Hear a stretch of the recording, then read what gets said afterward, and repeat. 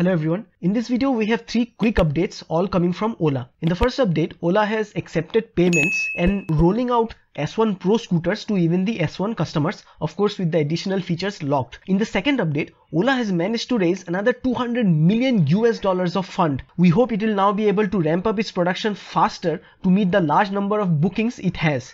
And the third update is this that you see in your screen. Mr. Bhavish Aggarwal has tweeted this. He has in earlier occasions also alluded to Ola making electric cars and this may be the first look of it. Of course, it's only a concept and the actual car will look vastly different. However, it does look futuristic and that is one element that should carry. And the second thing is that it has a big sunroof. So we hope even the actual car will be able to carry forward this design theme. Let us know what you think of this and we'll see you again. Go green, go electric.